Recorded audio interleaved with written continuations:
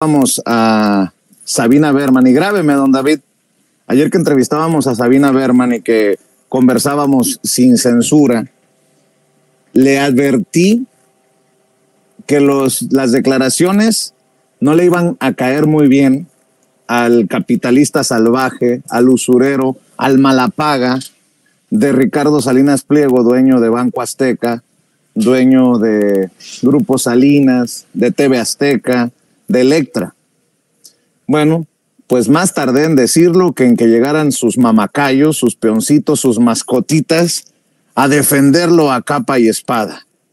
Pero bueno, durante el día mm, el tiempo nos dio la razón porque después de ver la defensa que hacen personajes como Marco Levario Turcot, el director de la revista Etcétera, este personaje que publica un libro sobre los farsantes de la 4T, como nos llama, y nos incluye obviamente en su, eh, en su libro que solamente sirve para limpiarse, ya saben qué, a falta de papel higiénico. Me llama la atención, ¿cuánto estarán cobrando?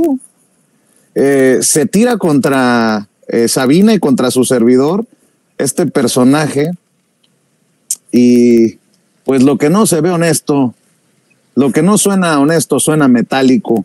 Escucha algunas de algunos de los ladridos de este personaje. Quiero referirme a dos farsantes de la 4T. Uno es Vicente Serrano y la otra es Sabina Berman. Referirme, claro está, a que como representan justamente estos adminículos de la propaganda del gobierno federal, lo que dijeron el día de hoy en el programa de Serrano da cuenta de la propia estrategia que tiene el gobierno federal y que, claro, con ellos, maiceándolos, empiezan a difundirla. Pero antes, permítanme ustedes, la incontinencia es para mí inevitable, refiriéndome a la propia Sabina Berman, tengo que hablar de algo que es periférico a la esencia que en unos minutos voy a abordar.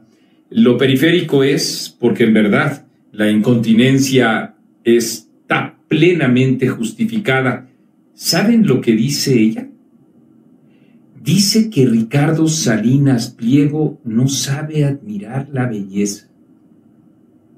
Ella.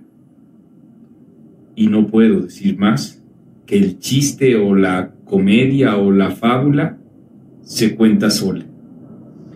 Pero ahora sí, remitámonos a estos dos que el día de hoy alternaron. Escuchen ustedes, para decir que hay, ya lo saben, un complot un complot que es siempre el recurso del gobierno populista o del actor político populista que busca acceder al poder para generándose siempre un enemigo a modo, tenga siempre ya una especie de Gioser, una forma de descalificar al otro para evadir la propia realidad y ejemplos de eso. Bueno, bueno, bueno, bueno, bueno, bueno.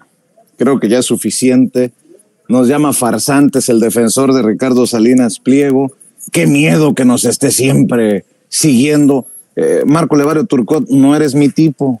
Ya se lo dije a David Páramo, que anda enamorado.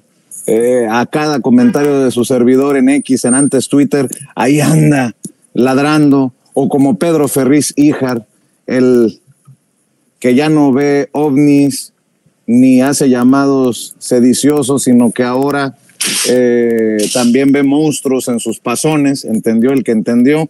Pero mi querido Toño, los hechos, los datos duros, diría el maestro Ricardo Sevilla, quien también es blanco de los besitos que nos tira continuamente Marco Levario Turcot desde su pasquín, la revista, etcétera. Eh,